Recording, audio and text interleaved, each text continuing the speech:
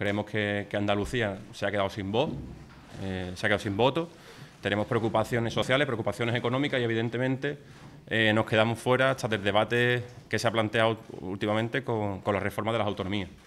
Entonces, como digo, eh, nosotros queremos que haya una voz, que haya, que haya fuerza en Andalucía y una, fuerza de los andaluces. Os comento que como datos tenemos personas que se han adherido desde Londres, Zúrich, Múnich, Berlín o Ámsterdam.